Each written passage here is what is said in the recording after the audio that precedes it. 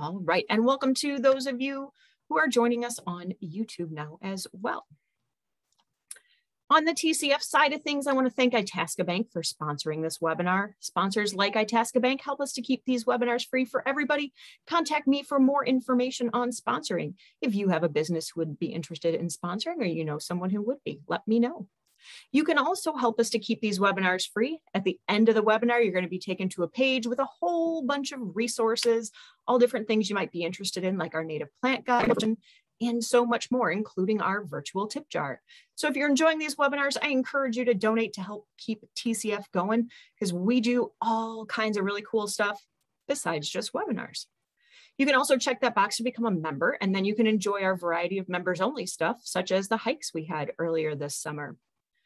So those of you who have been joining us all throughout the last year know we have been doing them every week. Well, with everybody going back to work and and including me, uh, it's getting to be a little difficult to continue doing them every week. So we're going to be doing them once a month on the first Wednesday of the month. Now it's seven o'clock. So our next webinar will be September 1st at 7 p.m.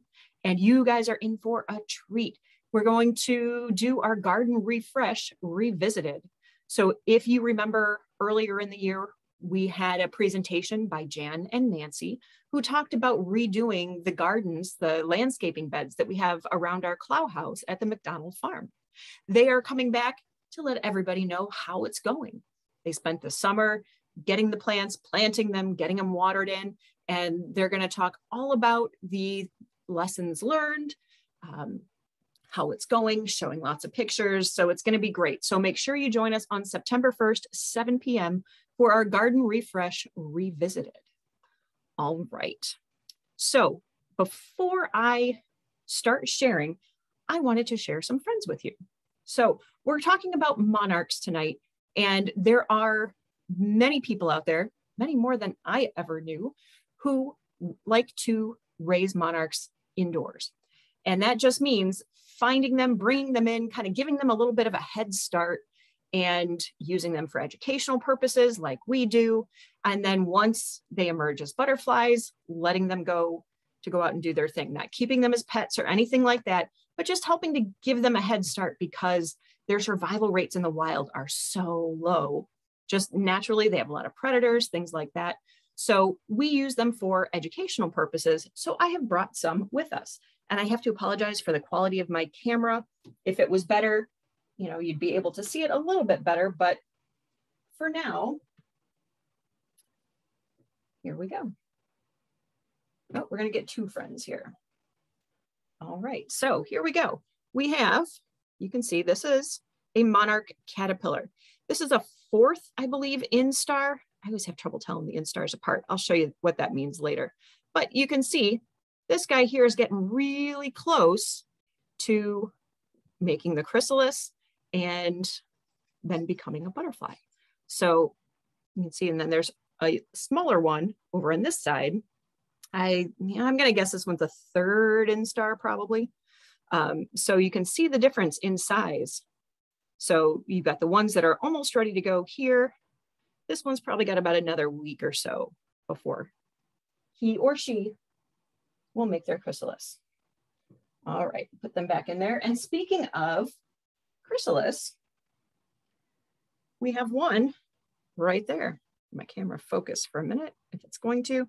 You can see them hanging up there. I've got better pictures for you later on, but you can see we have one ready to go. You can see that silk button at the top there, that white part right there um, at the base of the cremaster, it's called, that little stem that holds on to the top there. That white part there is almost like spider silk. And that's what they use. They sort of, they just produce that silk naturally.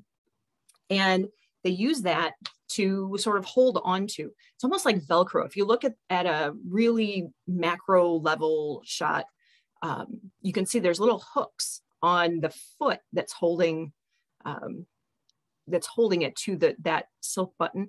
They're, they're little hooks just like Velcro. So it's really cool. All right, so I'm gonna go ahead and share my screen now. Here we go. All right, and so we are talking magnificent monarchs today, and that's my contact information there. If you received an email when you received the email from Zoom about today's webinar. That's my contact information, my email address. So if you have any questions at the end of this, please feel free to drop me an email. So um, going to give a little bit of background on the Conservation Foundation. I don't always do this, but because I figure we may have some new folks joining us tonight, I will. So this is our mission at the Conservation Foundation. We're looking to improve the health of our communities. And when we say communities, we don't just mean the plants and animals, but we mean the people that are part of our communities as well. So we protect land, we protect water, and that's what we're doing. We've been doing it now since 1972, so almost 50 years now. So next year will be our 50th anniversary, and I'm sure there will be some awesome things planned for that. All the little dots on this map show land that we have helped to preserve over 35,000 acres, 200 parcels in seven different counties across Illinois. So um, th this is our impact and we're very proud of that. All right, little quiz. We're gonna start off here. Monarch or mimic?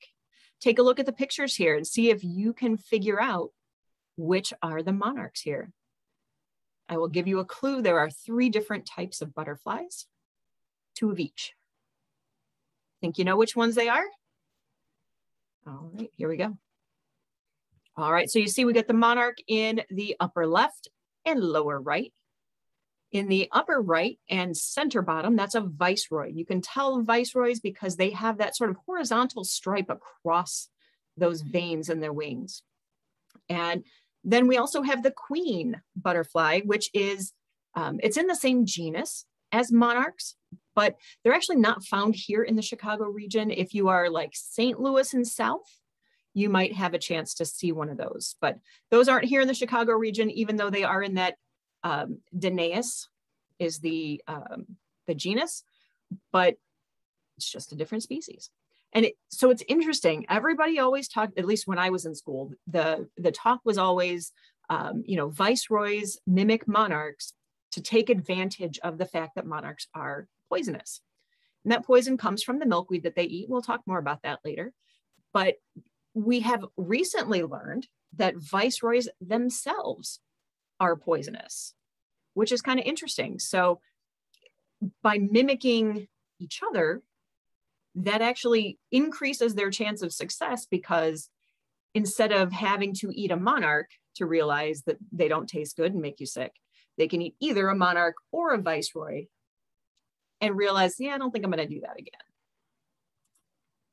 All right, so what do monarchs eat? Monarchs eat milkweed. I, I love the fact that our grade schools are teaching this. And, and when we do environmental ed programs, we see very frequently kids come in and they already know this already.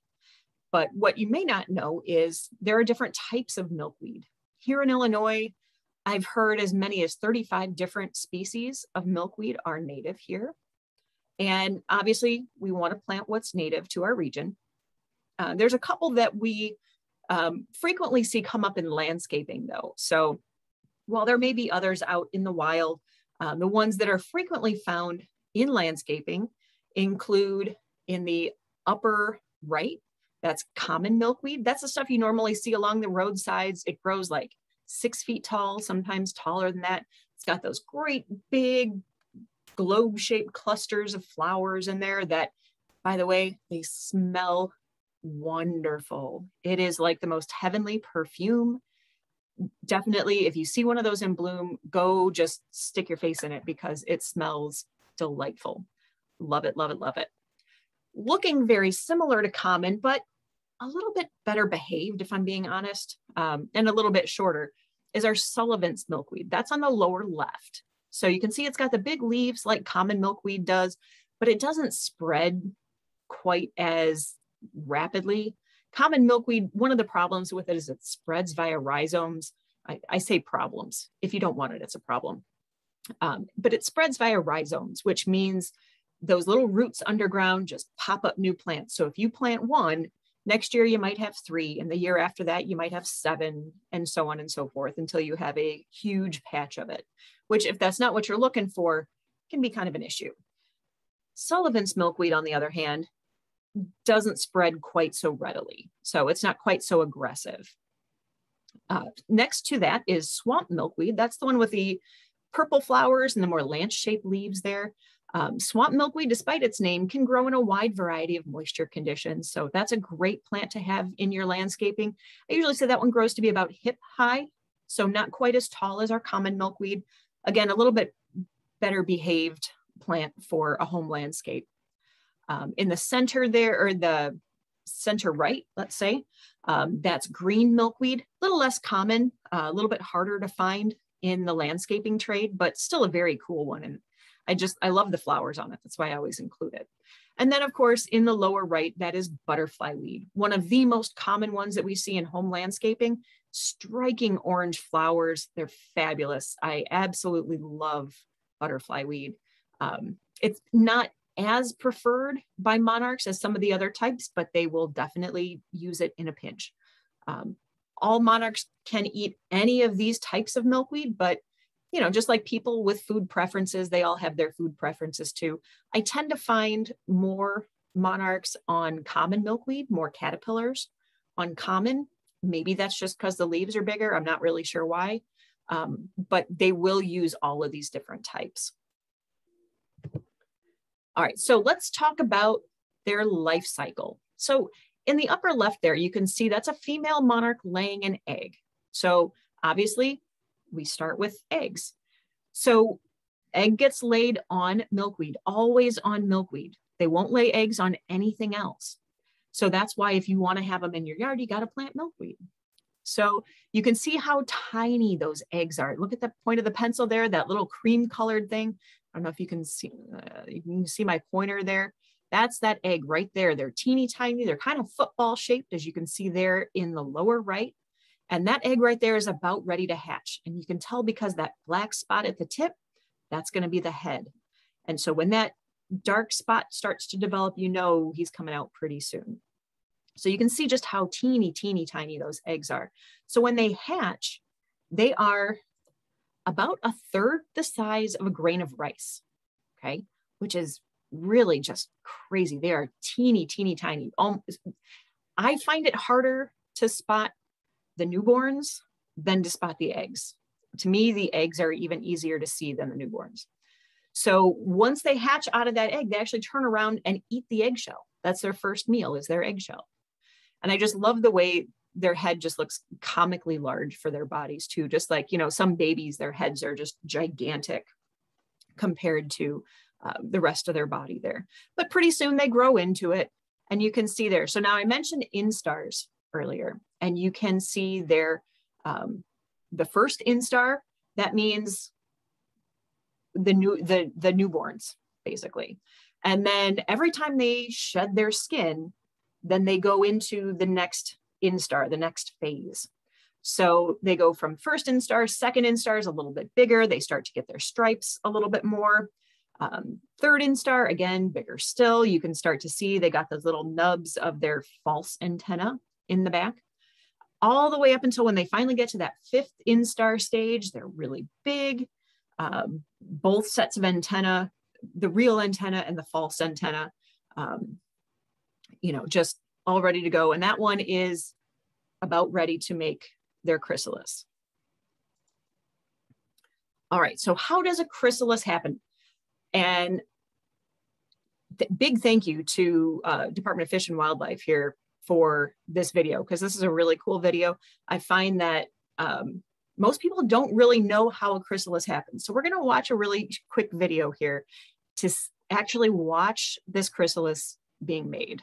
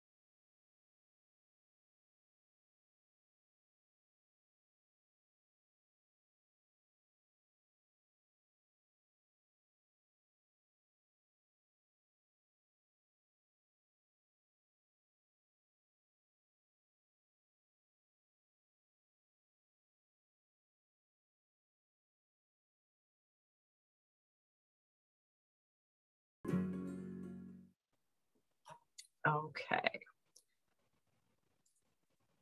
So hopefully you're able to see and hear that okay. Um, it was just music if you couldn't hear it, it's not a big deal. Um, but yeah, so that chrysalis is really interesting because most people think, oh, it, it makes it somehow, it spins a cocoon. First of all, butterflies make chrysalis, moths make cocoons. That's the big, uh, the big difference there. So in this chrysalis, it actually exists underneath the butterfly's or the caterpillar's skin, which just blew my mind the first time I saw it. it. I think that's just absolutely amazing how that happens. And then you look at what the chrysalis looks like and you see those gold dots on there. I mean, it looks like it's been painted by an artist. And that's just how they're made. So those gold dots on there, uh, they have recently discovered that those correspond to spiracles or the breathing holes essentially in, for insects.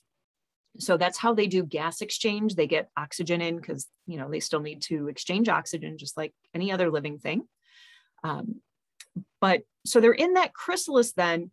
Um, I didn't talk about timelines, but they, they're in the egg for about three days. Then they're a caterpillar for about two weeks, going through those different instar stages. And then they go into the chrysalis and they're in the chrysalis for about two weeks, about 10 to 14 days inside that chrysalis. And it should stay that very opaque green color all the way up until it's just about ready to eclose. That's the term for when the butterfly comes out of the chrysalis is eclose. So right before it's going to eclose, that chrysalis is going to turn clear. And you see in that image there how you can see the wing folded up inside there. It's like some kind of weird origami. And it's just, it's folded up in there. Then all of a sudden there'll be a little crack in that chrysalis. the butterfly is going to come out. And when it comes out, the wings are going to be folded and wet, and they're going to hang upside down, let gravity help them pump blood into those wings, fill them out, dry them off. And it's going to take them a couple hours really to, to be ready to fly. So once they're ready to fly, you'll, you'll see them, they'll start pumping their wings a little bit, and then they'll fly off. And then usually they find a tree or somewhere where they can you know, hang out for a little bit and sort of finish getting themselves sorted. And then they're ready to go. And then they stay an adult for about two weeks as well. And so you can see there in my hand, I've got a nice male. And we'll talk in a minute here about how you can tell the difference between them. All right, here we go. So male versus female. The easiest way to tell is if you can see them, if you can catch a glimpse when the wings are open. You see those black dots on the lower wings there? Those are um, like scent glands that the male uses to attract the female. So it's where pheromones, something like that. So that's how you can tell instantly that it's a male is if you see those black dots, it's a male. On the female, the um, the black lines on the wings tend to be a little bit thicker as well, but that's not something that at a glance you're really going to be able to tell until you've looked at a lot of them. Um, it, it's hard to know, oh, is that thick or is that a thin one? I don't know. Look for the black dots. It's that's by far the easiest way to tell. All right, so one of the things that makes monarchs so amazing is this migration. So we mentioned that they live as adults for about two weeks. That's the average generation. So there are in a given year, I believe, five generations. And the last one is what they call the super generation. And the super generation, once they become the adult, they come out of the chrysalis, they become an adult, and then it's sort of like their development just freezes. I usually say it's like it's like if you were to uh, turn 16 and all of a sudden you just don't age anymore that's what happens to them because then that generation and only that generation will start the journey down to Mexico. They will fly from all over the United States and Canada and fly down. You can see there's a small population that goes down to Florida. There's actually a population that stays in Florida.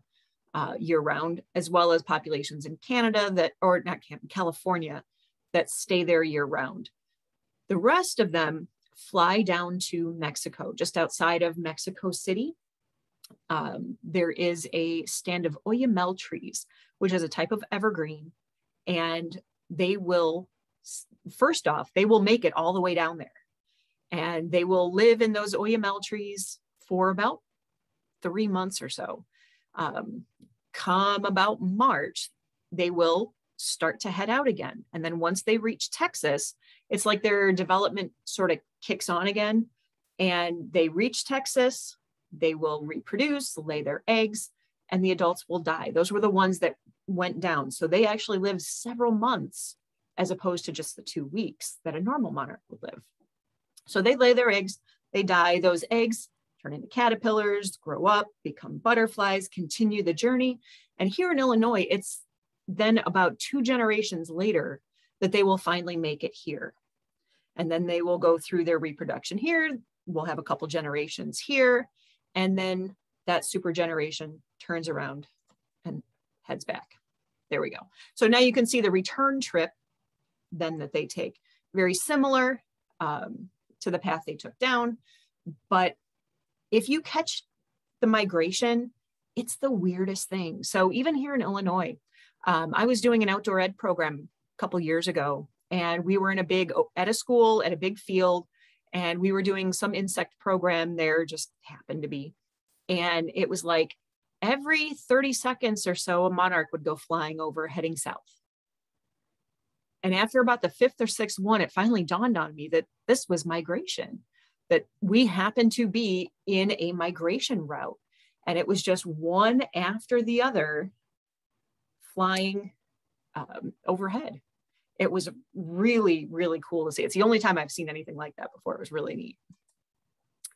So while they're down in Mexico, take a look at the trees there. You see where you see those kind of brownish trees that are dying off there. You know, looks like, oh, that forest is really sick. Well, those aren't the trees. Those are actually thousands and thousands, millions probably of butterflies hanging out in the trees there that from an aerial glance makes it look like the trees are dead. But it's just all the butterflies that are down there. It's amazing. That is a bucket list thing for me, by the way. All right, and milkweed back here in our own backyards again. Milkweed is a community. There are lots of different things that will use milkweed as a host right? There's milkweed beetles you see. And it's interesting because a lot of the things that use milkweed as a host plant are orange and black, those kind of warning colors that things put out there. Um, you can see there on the left, that's a clear wing or a hummingbird moth. Found that on my milkweed. And they are so big, they, they really earn their name of hummingbird because they're about the size of a hummingbird, but they're actually a moth. Um, those candy stripe leaf hoppers, I just love those little guys. They're so pretty.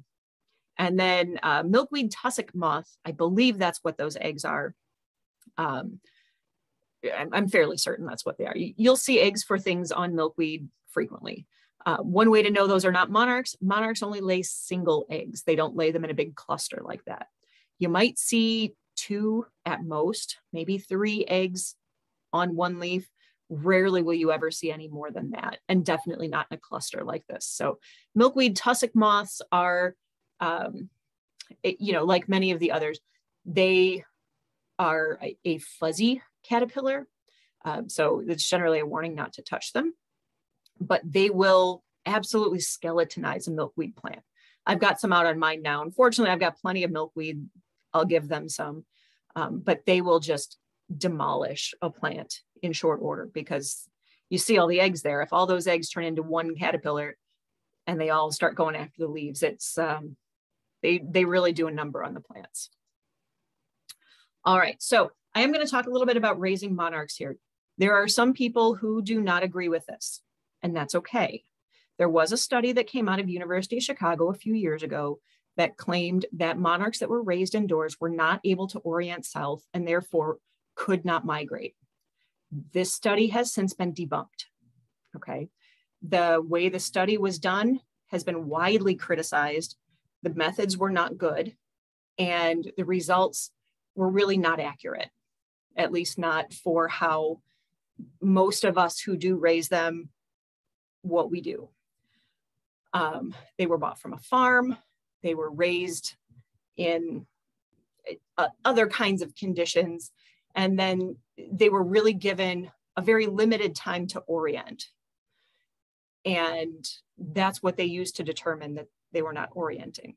Subsequent studies have shown that while it may take them, you know, a couple minutes to orient themselves, they do.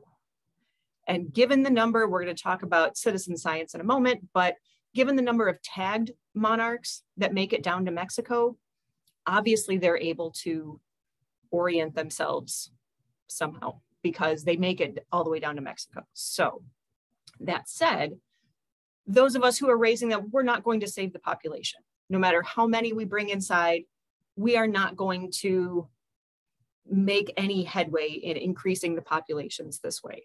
It's a fun, educational uh, way to connect with nature and to get your neighbors and friends to connect with nature. I can't tell you how many people I have shown these caterpillars to, and they are just enthralled.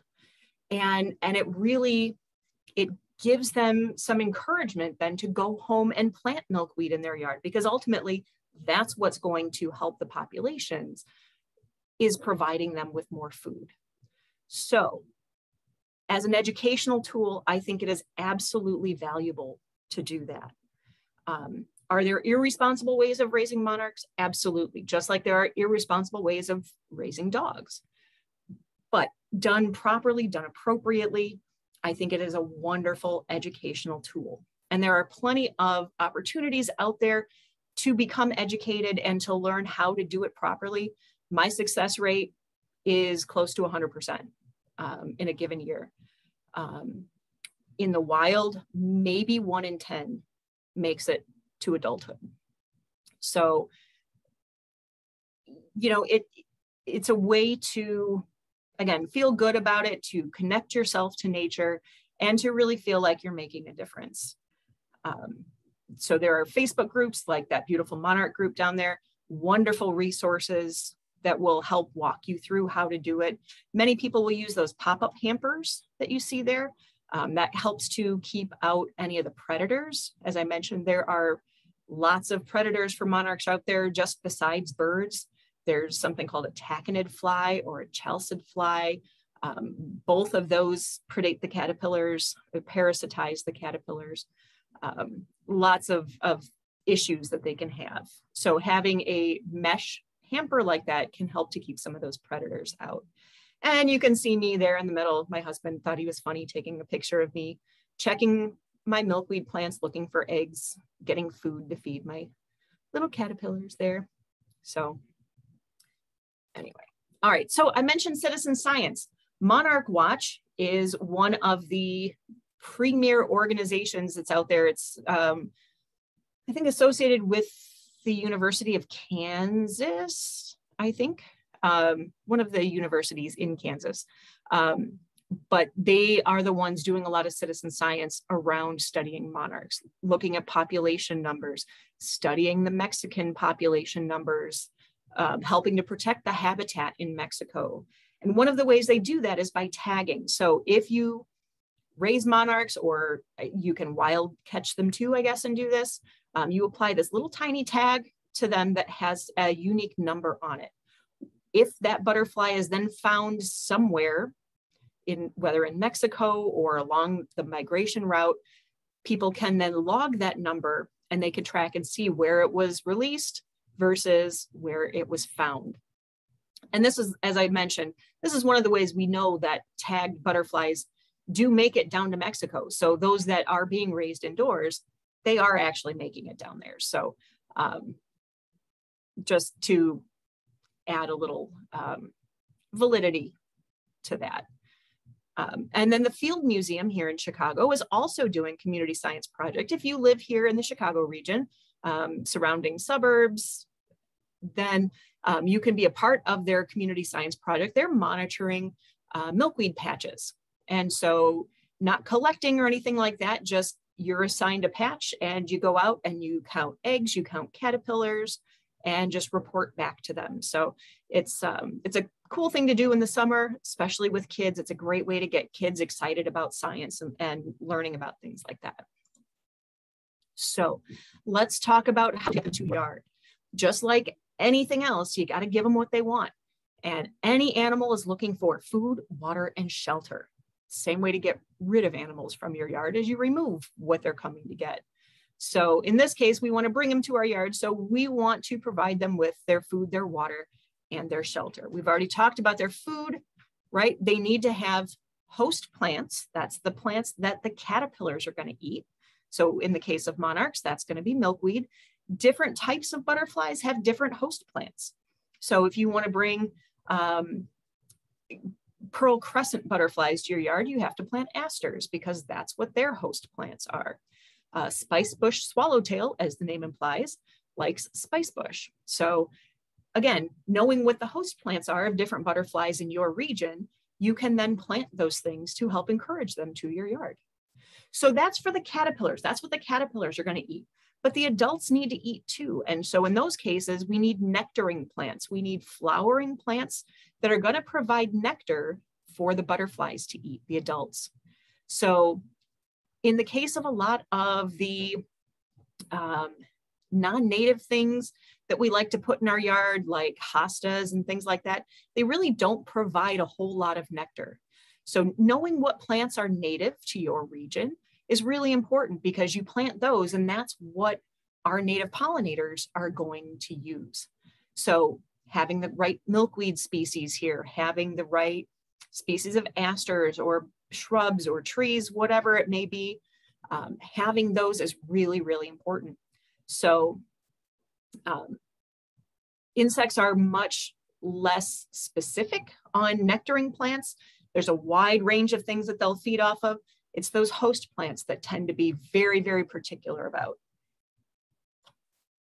Other things, if you're going to have a butterfly garden in your yard, having dark colored rocks provides them a place to warm up in the morning, right? Especially in the early spring when the mornings are still kind of cool gives them a place because they're not warm blooded like we are they gives them a place to go and sit and and take in that that solar radiation um, that the uh, the rocks are giving off that that heat energy um, as well as a sunny spot a the sunny spot is going to be where the majority of your flowers are but again also a, a place for them to go and stay warm um, also having a, a source of water for them is good.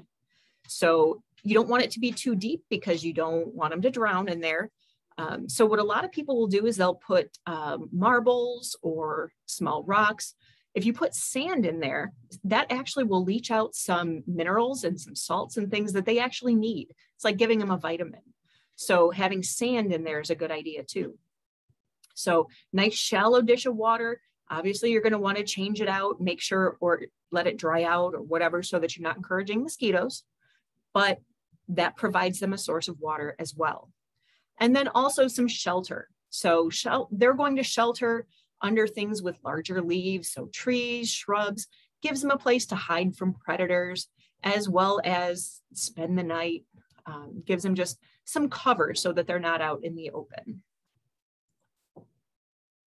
And we're not saying that you have to go put in a whole brand new flower bed in your yard. You can actually just swap out some natives for whatever you happen to have in there now, whether it's hostas, uh, non-native roses, whatever. And native plants are not weeds. So many people think native plants mean they're weeds. Most of the things that you're thinking of as weeds are generally not native. So if you take a look here, I mean, all of these are gorgeous flowers. I have most of these in my flower beds. I wish I could get cardinal flower to grow. I cannot. Um, but I have tons of Joe Pye weed. Joe Pye weed is a butterfly magnet. It has tons of pollen. Mine is just swarmed with native pollinators. They love it. Coreopsis is good. Same with the blazing star. Blazing star is another magnet for butterflies. They absolutely adore it. That cardinal flower that I mentioned, hummingbirds even will go use the cardinal flower. It's nice and bright red. They love it. And then I mentioned spice bush for those spice bush swallowtails and butterfly weed, which is a type of milkweed for our monarchs. So how do you get started? If you do nothing else, if you plant from these five genus here, Rudbeckia, Symphyotrichum, Solidago, Asclepias, Quercus, those genus support 75% of all insect life here in our region. Anyway, if you're outside of our region, it may be a little bit different.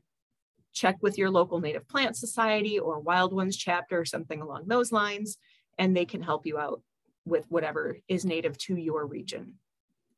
But all of these different plants, there's lots of different members and they'll fit pretty much any yard. There is something from this list that will fit any yard. Goldenrods often get a bad rap. I had somebody just today say, oh, that causes my allergies. It does not. Goldenrod pollen is very big and it's sticky. It does not float very well in the air. That's not how goldenrods pollinate. Unfortunately, they bloom at the same time as ragweed. Ragweed does not have a very showy flower on it and often gets overlooked. But ragweed pollen is tiny, powdery, and floats very readily on the air. And yes, it makes me sneeze too. So ragweed is bad, goldenrod is fine. And asters, um, another nice thing about the aster family is they bloom late in the year. They're a fall blooming plant. They've not bloomed yet. So when those monarchs are getting ready to fly down to Mexico, they need a good ready food source, something there, you know, they need fuel. And asters help to provide that because they're one of the last things that are blooming in the area. So here at the Conservation Foundation, we have our Conservation at Home program.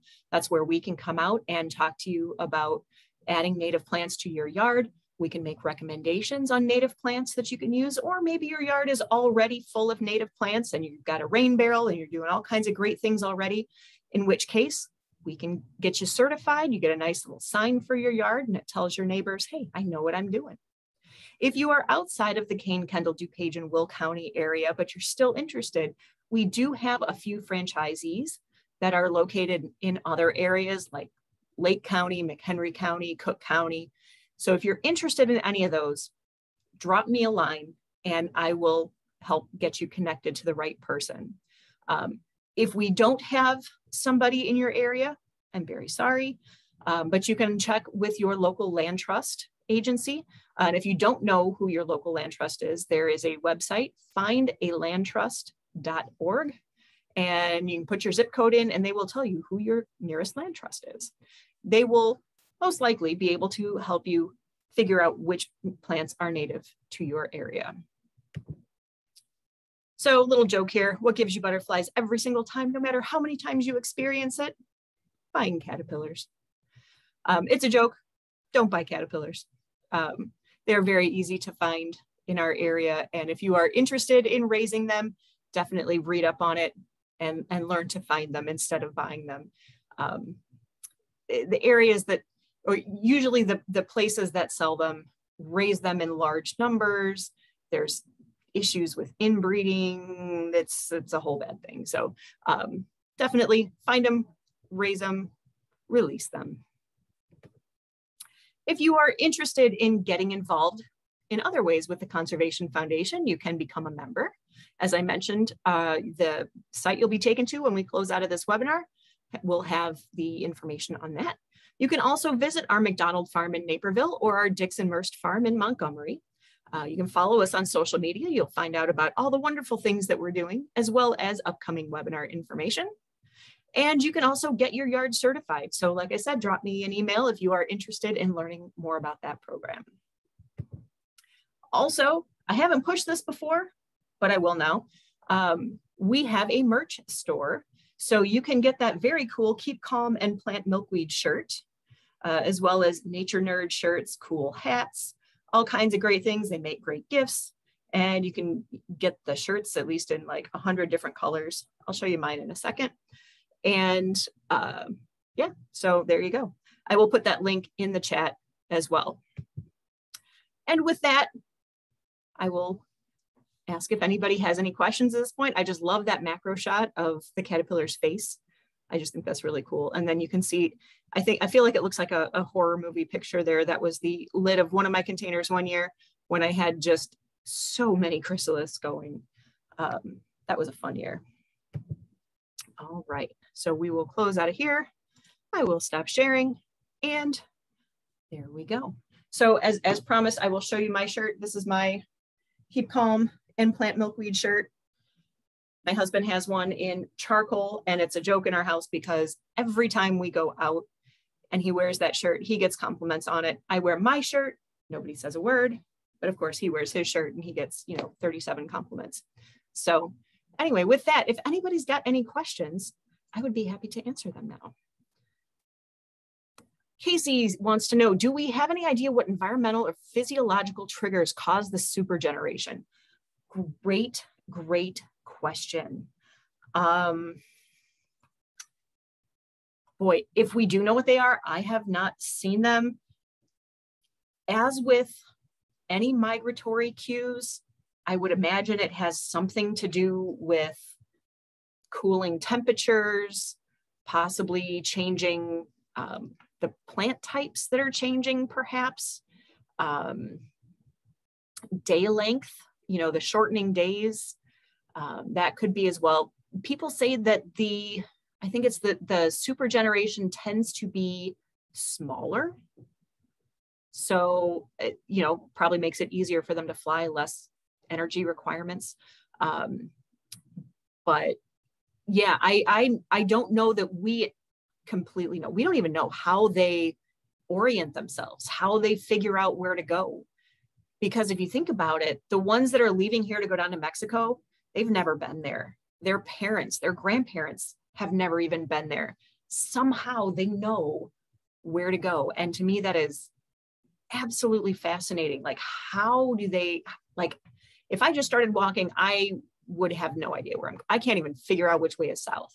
So, how they know where to go, how to get to this particular stand of trees outside Mexico City, it's it's just amazing. And then when they turn around and come back, how do they know where they're coming back to? You know, it just, the whole thing is just absolutely, absolutely fascinating to me. Uh, Karen wants to know when the super generation gets back in the spring, how long do they live? Okay, so the super generation doesn't get back here they leave Mexico and they get to about Texas and they lay their eggs in Texas. And then I, I don't know exactly, you know, maybe they live another week or so. Um, it's not very long because they're, they're quite honestly, they're pretty ratty by that point. Um, their, you know, their wings get very tattered. Um, so they, they don't live very long. They, they basically, they get to Texas, they lay their eggs, and then they're going to die. And then it's like two more generations before they get back here all the way. So it's, yeah, it's, it's super interesting. Um, okay, so we have a question here that says, my milkweed looks like it's dying, but I was told that means it's being eaten by the caterpillars, but I haven't seen any. Now there's a lot of green stuff at the base. Should I pot it in the ground now? Uh, so I, I, it depends on what the green stuff is. It's hard, hard for me to say, but if it looks like it's dying, so when caterpillars eat it, I mean, they eat it. So they're going to eat it down to, you'll just see that main vein um, and they'll just devour it. So if it's, if it's turning yellow, if it's droopy, that's something else entirely. Um, interestingly enough, you can tell when there's a baby caterpillar around those first, like that first instar, because they'll eat in the shape of a letter C. I don't know why, um, but that but they do. So they like they can't eat the whole leaf, so they just end up eating in the shape of a C.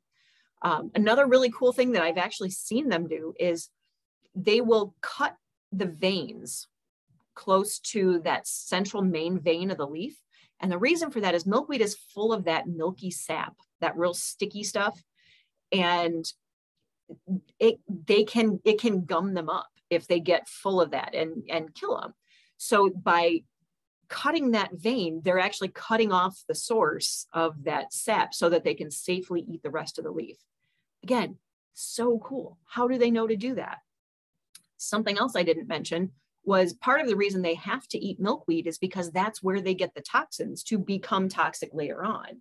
If they don't eat the milkweed, they don't develop those toxins. So if you or I were to eat milkweed, it's got a cardiotoxin in it, which means it's going to go after your heart muscle and cause all kinds of heart problems. With them, instead of digesting it, those chemicals get stored in their fat, in their bodies. And then that stays there even from when they're in the chrysalis to becoming an adult. So they maintain all of that toxic stuff.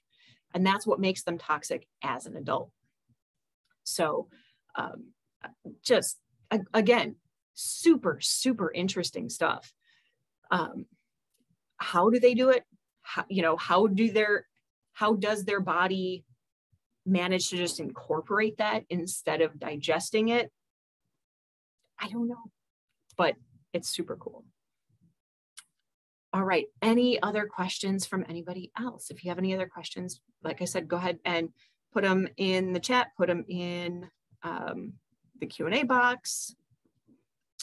Uh, let's see. Oh, Sandy wants to know, how do monarchs find my tiny milkweed plants? They can somehow smell, I guess is the right word, milkweed. They can sense it. They and it's it's really funny because I've I've seen. I don't know if it was a study study, but um, they like plants that are in smaller patches or even single plants, um, as opposed to a giant solitary, you know, uh, patch of milkweed, which may have to do with the fact that there are more predators likely when there's a larger patch of milkweed. It's, it's likely that other predators have found that as well and know that, hey, if I want a snack, this is where I go. So they'll look for those. And I've seen that at my own house. I have one solitary plant that just popped up on the side of my house and I let it go. It got egg bombed. I had like a dozen eggs on there. So how they've managed to find that, I don't know. But boy, do they ever. Um, Colleen wants to know the best source to learn how to raise them inside. There are some great books that are out there. Um, I'm struggling to remember the titles of them now, but there's a there's a couple of, of good books that are out there. Um, there's a couple of really good Facebook groups. Honestly, um, that beautiful monarch Facebook group, if you're on Facebook, is a really great resource. They have files in the group that you can go look at that go through everything from how to set it up, potential problems that you might run into, um, how to grow your own milkweed, all that kind of stuff. Um, those are really great groups to learn from. And then when you have questions, you can ask, and there's you know lots of very helpful people in those groups. Um, and if you go to places like Monarch Watch, um, there are other Facebook or not Facebook, there are websites that are are run by let's say more scientifically minded groups that will talk about this as well. So um, Monarch Watch, as I said, is a really great one. That's got um, some good information in it as well. Um, but yeah, there's there's lots of information out there that you can uh, that you can read through. Um, Annette says, can you think of any reason why my mother-in-law's yard is full of common milkweed uh, monarchs, but not one egg? It's been four years now without one egg. Well, eggs can be very difficult to find. Um, sometimes when when the there's flower buds, they'll lay the eggs on the flower buds. Those are almost impossible to see. Um, and unless you've been doing it a while, it can be hard to tell what's an egg and what is, for example, just a little bit of dried sap that's on there. So um, I'm, I'm not saying you missed them, but they can be very hard to see. Um, what else, what could cause it? Um, again, sometimes they just have preferences. Um, sometimes maybe they just haven't found it yet. Um, it, you know, or if you've got monarchs around there, I just, I find it hard to believe that if you've got monarchs flying around that, that they wouldn't be laying eggs there. Um, I don't know, but, and, you know, even I have people say like, oh, there were four caterpillars yesterday and now there's none. Sometimes they get picked off by birds. Sometimes they just crawl off uh, you know when they're when they're shedding their skin they like to kind of go off by themselves sort of in private. I jokingly say that um, you know that they want some privacy while they're changing their clothes. Um, and so sometimes they just will leave and go someplace else. So when they're outside who knows where they went you know um, and when they go to make their chrysalis they definitely go away they they go to find someplace very private very quiet very out of the way um, so you know, it's, it's hard to say. Uh, Sharon says, what time of year should we look for eggs? Um, I usually start finding them in June, in early June, late May, around there, um, all the way until, um, I would, depends on your area, how late or, or, you know, exactly when, um, and that kind of goes by latitude. So different latitudes, different weeks. Here in the Chicago region, um, I start finding them generally late May, early June, and then you'll find them all the way until mid to late August. Um, your mileage may vary depending on where you live. Uh, let's see, Carol wants to know, any idea what causes the brilliant gold specks in the chrysalis?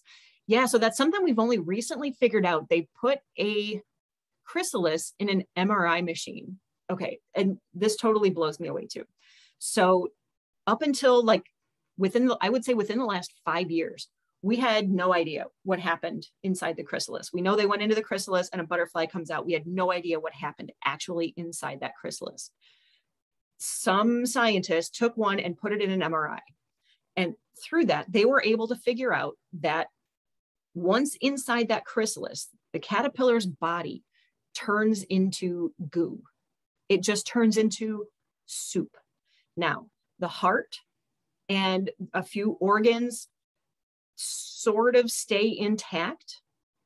And those gold specks, I'm getting to the gold specks, the gold specks correlate to the spiracles, which in an insect, the spiracles are how they do gas exchange, how they breathe. So, how they take in oxygen. And so, those gold specks were found to correspond to spiracles so they think that that's how they're exchanging gas. So taking in oxygen, releasing carbon dioxide. Um, everything else, it just goes to soup inside there. And out of that soup, somehow a butterfly is formed. It just blows me away. It's so, so cool. All right. Donna says, I got to see monarchs mate yeah that's that is i don't think i've ever seen i've seen pictures of it but i haven't actually like seen it happening and it can go on for hours the male and the female couple and like they will stay coupled for like hours and it almost looks like they're fighting and sometimes they're down on the ground and it's you know obviously i imagine it would be hard it's hard enough trying to say paddle a two-man kayak I can't imagine trying to fly with two sets of wings there. So yeah, um, bad analogy probably. Anyway, so yeah, it's it's crazy. That yeah, and then the female will go on to lay tons of eggs from that. So um, I have a male. I'm fairly certain it's a male. It's behavior of a male um, that actually patrols my milkweed patch. And he will just sort of fly circles around it and he will chase off anything that comes flying by a bee, a wasp, another butterfly, a bird. I mean, he will chase off anything that is his patch and he is waiting for the girls. And yeah, so it's just, it's funny because he is out there every day just flying around the one patch, just flitting around. He'll stop and eat at the Joe Pye weed for a little bit and then keep flying around. But this is like the second or third year I've seen him do it. It's super cool. Anyway, any other questions from anybody? All right. If not, not seeing any, I want to thank you all for joining us for our very first evening conservation online video. Hope you all enjoyed it. We will be back next month, first Wednesday of the month, remember, seven o'clock, to do the reboot of our garden refresh. So you'll get to see updates. You'll get to see the um, pictures, see what it looks like now, kind of they'll do before and after. Um, it'll be great. So looking forward to that. So hope to see you all back next week. Thanks so much, everybody. Take care. Good night.